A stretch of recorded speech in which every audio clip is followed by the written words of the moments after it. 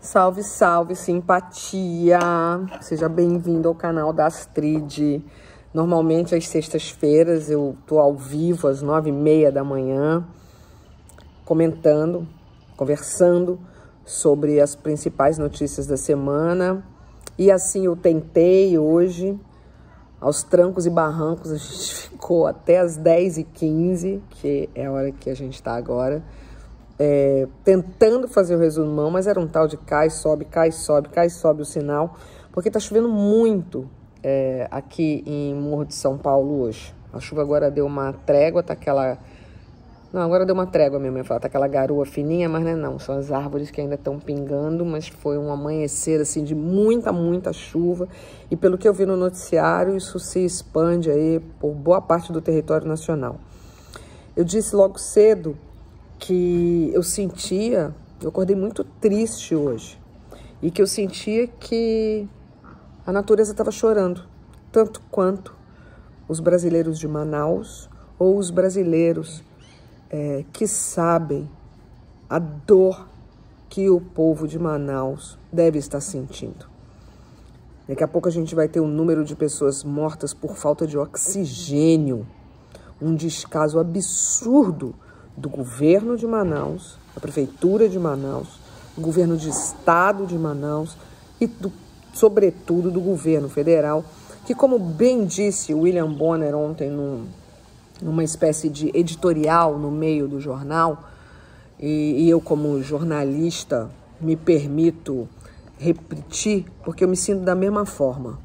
William disse: às vezes nós estamos esgrimando com loucos, com irresponsáveis, com gente que é capaz de entrar num WhatsApp da vida e sair espalhando mentiras ao bel prazer, crendices. Tem gente que faz isso investido de cargo público. Tem gente que faz isso sistematicamente. E o resultado disso foi esse dia que ficará marcado na história o dia 14, quando Manaus enterrou 198 pessoas, quando Manaus atingiu. Um, um, um, o que mais me impressionou foi, foi a matemática da, da, do oxigênio. Diz que num, em abril, quando se teve o pico de, de casos por lá, o uso era 30 mil metros cúbicos em abril agora está sendo de 70 mil metros cúbicos. E sabe qual é a capacidade de fabricação das três fábricas que produzem oxigênio lá? 20 mil. Essa matemática vai fechar de que forma? Portanto, o governo sabiam disso. Sabiam disso. O ministro da Saúde teve lá, Sargentainha teve lá, um dia antes do negócio explodir no mesmo hospital. Ninguém falou isso para ele? Claro. Mas a resposta dele, quando a cunhada disse para ele que não tinha oxigênio para ela, foi: o que, que eu posso fazer? É isso aí, amanhã vai chegar. É um descaso com a vida que a gente não pode se impregnar. A frase é mais ou menos essa aqui, quer ver? Ainda que imposta há de se rejeitar a normalização do absurdo. Ainda que imposta, há de se rejeitar a normalização do absurdo. Portanto, sigamos lutando pelo Brasil, porque ele é nosso, não é deles, ele é nosso. Eles passarão. Nós estamos aqui para construir um país melhor para os nossos filhos para os nossos netos, nossos bisnetos e vai por aí afora. Essa falta de ar é tão simbólica. Simbólica para mim, né, que não perdi nenhum ente querido nessa situação. Eu vi um pai ontem falando que foi levar um tubo de oxigênio para o filho. Eu vi aquela psicóloga desesperada pedindo ajuda. Enfermeiros arrasados, como se num campo de guerra, porque deve ter sido essa sensação de não saber quem acudir, de escolher quem iria respirar. É desumano, é injusto, é genocida. Os tribunais internacionais irão julgá-los, com certeza. Mas nós temos que estar fortes e unidos para reverter essa situação. Situação que vai nos deixar feridas, já nos deixou. E que nos foi muito alertado pela ciência. Eu lembro muito da doutora Margaret Dalcomon no Saia Justa, um dos últimos programas que a gente fez, falando sobre janeiro, que nós veríamos coisas horríveis. Ela não é bruxa, ela é cientista. E a gente sabe, a gente sabia, se houvessem festas, se houvessem aglomerações, e isso correu solto em Manaus, sem praticamente nenhuma restrição, a gente ia estar tá vendo a epidemia se agravar. E a gente está vendo. Se não me engano, são 12 estados em alta. 12 estados em alta de casos, né? Então, os médicos alertam: sinal de gripe, dor no corpo, dor de cabeça. Se recolha, se recolha. Primeiro, proteja os outros, se feche, né? Outro dia uma moça me escreveu falando assim: ai, Astrid, cuidado aí no morro, porque o meu filho voltou daí com Covid. Bom, deveria ter ficado então, recolhido aqui, né? E não atravessado de balsa, eu imagino, para o continente, de ferryboat. Desculpa se falei alguma besteira né? Então, aos primeiros sinais, hoje em dia não é uma gripezinha, como era em 2018. Hoje em dia pode ser Covid e você pode estar tá alastrando essa doença. Então, proteja-se e vá fazer o teste, tá?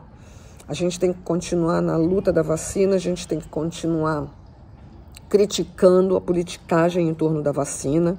É avião sendo adesivado em Recife antes de ir para a Índia, a Índia falando que ó, não vem não, porque aqui não tem nada. Mano, é tão surreal isso. Eu tenho um amigo meu que ele falou o seguinte, cara, é uma questão de logística, né? Eu não vou ao supermercado de Uber. Ele primeiro vai ao supermercado num transporte mais barato e dependendo da compra dele, aí sim ele pega um Uber. Mas não, os caras já mandaram um avião para a Índia sem saber se na Índia vão liberar a vacina para o Brasil. Isso porque o cara era um estrategista do exército. Rapaz, se tem a guerra, nós estamos rombados, viu? Como diz aqui no Nordeste. Se rola a guerra, estamos arrombados. Porque estamos mal, mal, mal, mal, mal, mal. É, para além disso, no dia, esse dia de hoje, o dia 15, é, nascia Martin Luther King. Na verdade, nascia Michael King Jr., que mais tarde seria conhecido como Martin Luther King, o mais importante, mais importante ativista pelos direitos civis dos negros norte-americanos, pastor, pastor batista, que pregava a não violência e a desobediência civil. E ele era muito inspirado por Mahatma Gandhi. Tá brabo hoje. Martin Luther King ganhou um prêmio Nobel em 1964 e foi assassinado em 1968, aos 38 anos. E por lá nos Estados Unidos, essa semana aconteceu um feito muito bom e muito é, inspirador. Eu diria uma, uma medida extremamente necessária para a gente cortar esse mal da intolerância pela raiz, porque abriram um pedido, mais um segundo pedido de impeachment contra o presidente Donald Trump. E foi uma votação surpreendente, que agora precisa ser referendada pelo Senado, porque está à beira de acabar, não é? Então você acha, vai acabar? Deixa aí é para acabar. Não, tem que sair empichado e tem que servir de exemplo para esses protótipos de autoritários que existem no mundo, sobretudo no Brasil, onde a gente tem o fã número um dele, né? Fã número um é, é, do cara. Galera, Enem. Você está indo para o Enem, você que tem um parente indo para o Enem, peça para ter todo o cuidado do mundo. É evidente que essa prova não tinha que acontecer. E o uso da máscara vai ser fundamental.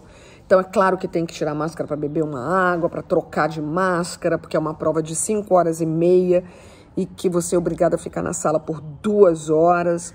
É, mas a máscara é a nossa única arma. Ao contrário do que o idiota diz, a máscara é a nossa última, a nossa única é, arma por enquanto. Num vídeo recente que eu vi hoje, ele fala lá com aquela galera lá que fica naquele puleirinho lá no, na porta do Planalto.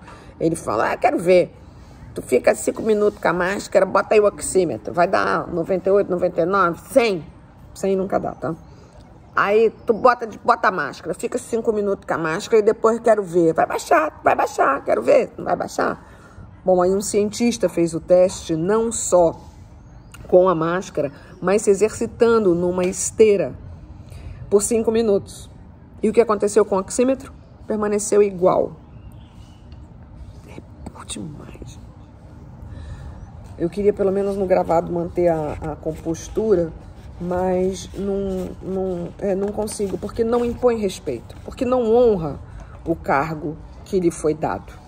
Né? E eu fico muito impressionada como ainda tem uns debilóides que se mantêm é, fiéis é uma minoria fiel, de muita ignorância, de muito ranço, né? O que, que aconteceu com essa gente, né? Que, que, ficou, que, que ficaram com esse ranço. Mas repito, ainda que imposta, há de se rejeitar a normatização das coisas, do absurdo, do negacionismo. Negacionismo mata. Negacionismo mata. É... Por falar em dia de hoje, 15, hoje também foi aniversário, seria aniversário de Maria Lenk, a nadadora brasileira que muito nos orgulhou e que é mulher admirável. Por falar em mulher admirável, entrou ontem a história da arquiteta Janete Costa, divina, divina, uma obra maravilhosa.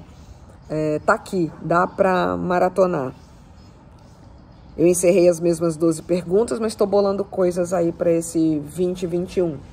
E da minha rede, aqui, literalmente a minha rede de balançar, essa semana eu li um texto do Yuval Noah Harari, um israelense, autor de Homo Sapiens, uma breve história da humanidade, e também de Homo Deus, e também de 21 lições para o século 21, que ele fala um dos textos fala sobre o pós. A humanidade enfrenta agora uma crise global, talvez a maior da nossa geração. As decisões que as pessoas e governos tomarem nas próximas semanas provavelmente mudarão o mundo por muitos anos. Mudarão não apenas os nossos sistemas de saúde, mas também a economia, a política e a cultura. Precisamos agir com presteza e convicção e também levar em conta as consequências de longo prazo de nossas ações. Ao escolher entre as alternativas que se apresentam, devemos nos perguntar não apenas como superar a ameaça imediata, mas também que tipo de mundo habitaremos uma vez passada a tempestade. Sim, a tempestade passará. A humanidade sobreviverá. A maioria de nós ainda estará viva, mas habitaremos um mundo diferente. Muitas medidas emergenciais de curto prazo se tornarão parte da nossa vida. Essa é a natureza das emergências. Elas aceleram processos históricos. Decisões que em tempos normais demandariam anos de deliberação para serem aprovadas, foram aprovadas em questões de horas. Tecnologias incipientes e até perigosas são ativadas, pois os riscos de não se fazer nada são maiores. Países inteiros assumem o um papel de cobaia em experimentos sociais de larga escala. O que acontece quando todo mundo trabalha em casa e se comunica apenas à distância? O que acontece quando escolas e universidades inteiras passam a operar online? Em tempos normais, governos, empresas e autoridades educacionais jamais concordariam em conduzir tais experimentos. Mas esses não são tempos normais. Nesse momento de crise, estamos diante de duas escolhas particularmente importantes. A primeira se dá entre a vigilância totalitária e empoderamento do cidadão, e a segunda entre isolamento nacionalista e solidariedade global. Para vencer a, a epidemia, populações inteiras precisam obedecer certas orientações. Há duas formas principais de se conseguir isso. Em um dos métodos, o governo monitora as pessoas e pune aqueles que burlam as regras. Hoje, pela primeira vez na história humana, a tecnologia possibilita monitorar uma população inteira o tempo todo. 50 anos atrás, a KGB não tinha como vigiar 240 milhões de cidadãos soviéticos 24 horas por dia e jamais conseguiria processar de modo efetivo toda a informação coletada. A KGB dependia de agentes e analistas humanos e era impraticável designar um para cada cidadão. Agora, os governos contam com assessores onipresentes e com poderosos algoritmos em vez de espiões de carne e osso. Na batalha contra a epidemia do coronavírus, vários governos empregaram as novas ferramentas de vigilância. O caso mais notório é a China, monitorando de perto os smartphones da população, recorrendo ao uso de centenas de milhões de câmeras de reconhecimento facial e obrigando as pessoas a verificarem e reportarem sua temperatura e seu quadro clínico às autoridades chinesas. Podem não apenas detectar rapidamente possíveis infectados, mas também rastrear sua movimentação, identificando qualquer pessoa que tenha entrado em contato com eles. Uma série de aplicativos de celular avisa os cidadãos da proximidade de pacientes infectados. E a China, que foi a primeira, também não teve mais nenhum caso. Esse tipo. Bom, enfim, eu vou pular essa parte aqui. É, é pensando. É pensando que a gente vai arrumar soluções e ver o quão eficiente algumas já foram para a gente deter o vírus. Fora isso, a gente tem que esperar que a politicagem com relação à vacina termine, que a vacina seja dada que a gente entenda que o uso de máscara é para sempre e que a gente entenda que é preciso agora refrear de novo. As volta, a volta às aulas estão marcadas para o meu filho para o dia 25. Hoje tem reunião na escola. Vamos ver, né? Eu, neste momento, sou contra a volta às aulas. Ah, é polêmico, ah, meu Deus, ai as crianças. Ai as vidas, ai as vidas, ai as vidas. Salvemos os brasileiros. O Brasil não está quebrado. Isso é blá blá blá. Blá blá blá para o galinheiro. Né? No dia seguinte que ele falou isso, o Ibovespa subiu. Os investidores sabem que não está quebrado, muito embora a Ford tenha saído fora do Brasil. Né? E aumentado sua produção na Argentina. Talvez porque eles considerem a Argentina um país sério. Salvemos o Brasil, gente. Beijo, até o próximo.